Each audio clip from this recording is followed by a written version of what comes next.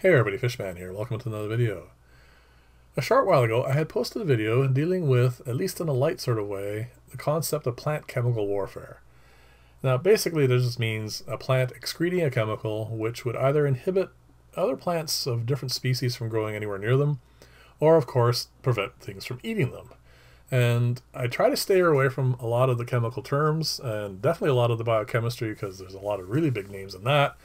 But if there is something that interests you and you want a little bit more depth of that, let me know, and I will try and at least incorporate a little bit more of that uh, in videos as this sort of progresses. Now, one of the things I really wanted to do when I first put that up is show you guys a way of dealing with it, a simple way of dealing with it, actually, and one you probably almost almost all of you probably already know. Now, I am going to go to a fair amount of extent cleaning this tank, but that is actually not necessary. I could just leave this as is. But as you know, I am going to be using this aquarium for another experiment coming up dealing with how various filter types can remove ammonia. So because I have the ammonium chloride in, so I thought I would just get this clean now.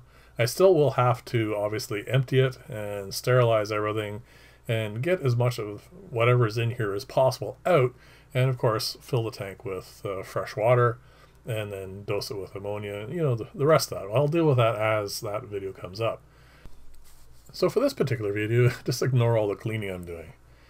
Now when I had posted that original video, a number of people had mentioned that the reason why the plants all died is because I had uh, removed all the fish and let the tank sit idle and that um, basically meant that the nutrient source for the plants wasn't there anymore.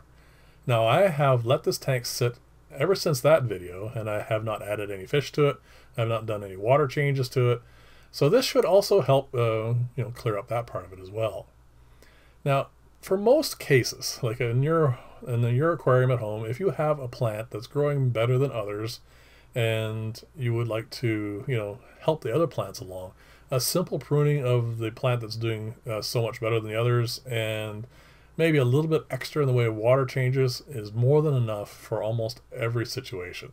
This is more of an extreme case, and sometimes this will come up, especially if you have a fair amount of like blackbeard algae or that sort of stuff.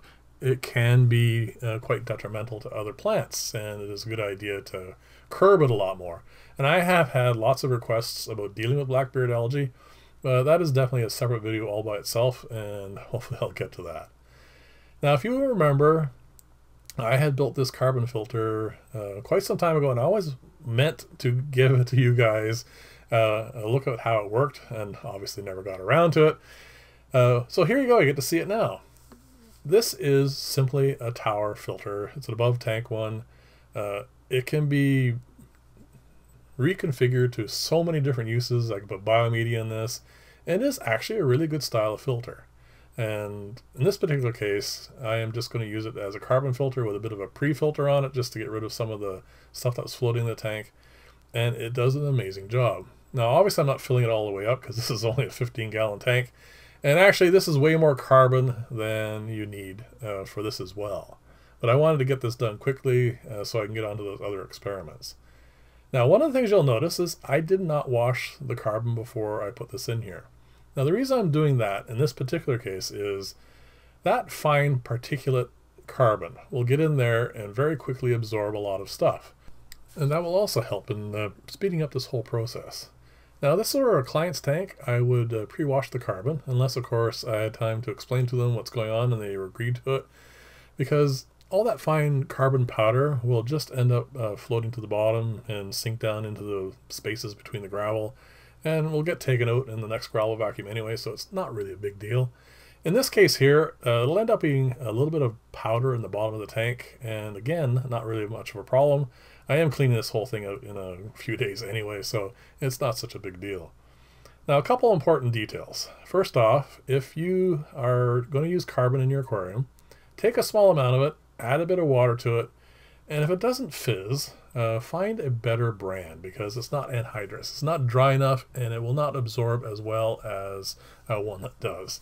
I know that's not necessarily true for everything, but it is a good sort of rule of thumb. Now the other thing is with carbon, it absorbs organic molecules. It and that's exactly what it does. It will not take out nitrate by itself, unless of course it's bound to something else. Uh, but that's not usually a problem. Uh, but anyway, it's just something that uh, you should keep in mind as well. So this will take care of all those uh, rather large organic molecules that the plant excretes, uh, which are the ones that we're interested in because they're the ones that are going to be preventing other plants from growing and of course uh, other things from eating and all that sort of stuff. And as you can see, this is a day later now, and the water is not necessarily clearer, but you'll notice there's a lot less color. Now, if this is going to run for another week, it would actually, you know, it'll actually be crystal clear as well, like no particles in the water. But again, a uh, bit of a time crunch here, so I'm going to only do this for one day. And then I'm going to put the plants in, and I'm going to let them sit. And normally, I think when I when I did this the last time, uh, it was about two days before I mean, the plants are really dead, dead. Uh, this is a day later, and as you can see, they are perfectly fine. And there's going to be one more clip near the end, which is going to be uh, another day and a half, I think, and they're still fine. I will show you some close-ups here in a little bit, and there are no needles uh, floating anywhere in the tank. I also put in a little bit of uh, the plant to the right there. I put a little bit of that in there. Uh, the name escapes me at the moment. Um, Pearlweed, that's it. And uh, it is also doing fine. Now, I didn't bother putting any Java fern in there because it seemed to be immune. Uh, but it was mostly duckweed, which I don't have hardly any of at all anymore. And this plant here, hornwort, which uh, we're suffering the most. But hornwort is a wonderful plant uh, in this particular uh, setup because once it starts shedding needles, it is so obvious. And that is something that uh, would be a very quick indicator of this. So I am going to let this run for a few more days after this video is over, uh, just to uh, prove it for sure. And I think I'll leave a little bit of an update for that on Sunday's vlog just to show you. But as you can see, it is doing very well here, and I have not done any water changes on this tank. All I've done is top up the tank. and to be a little too anal about this, I decided also instead of using tap water, which may add something into it, I took the water from my dehumidifier and used that to top this up. So that is just pure distilled water, and it would not be adding any nutrients or minerals or whatever to the tank, uh, just in case that was uh, a possibility. But as you can see, uh, nothing has been done to this other than carbon filtration, uh, cleaning out the plants that were in there, the algae, and um, a bit of a pre-filter on this. So there you go. It's a very easy way of dealing with larger organic molecules that uh, will get in your aquarium from not just plants, but from other stuff as well. It will. It's very good at getting rid of tannic acids if you have driftwood that is um, not cured properly, and pretty much any of that sort of stuff as well. So here's some close-ups of it. You can see there's no needles floating in the tank. I did actually end up putting a couple of snails in here as well.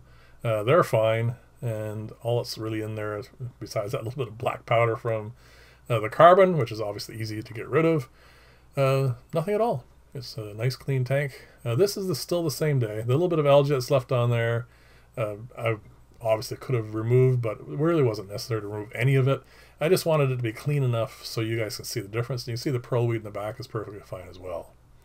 So here's the last clip another day later, and again, no changes. I will again leave this up uh, long enough to give you guys certainty of all this, and then I'm going to take it down and start working on the ammonium chloride experiments.